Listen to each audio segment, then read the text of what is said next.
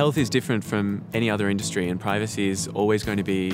a serious concern and has to be top of the priority list when we're creating a platform for innovation. Essentially, it's around trust. We need to ensure that people can trust the information they provide us is safe,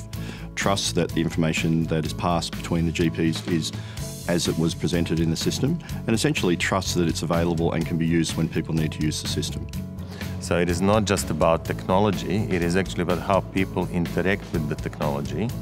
and uh, are these technologies being used in a way that maximizes safety and quality and outcomes? Our community sees secure messaging as an important challenge to address, and we're happy to see it um, highlighted in the digital health strategy um, so that it's got a focus. The Information Security Manual, which is run by the Department of Defence, actually mandates how systems are secure. It gives us guidelines around how data is stored, how it's protected, how we encrypt and um, look after that information so that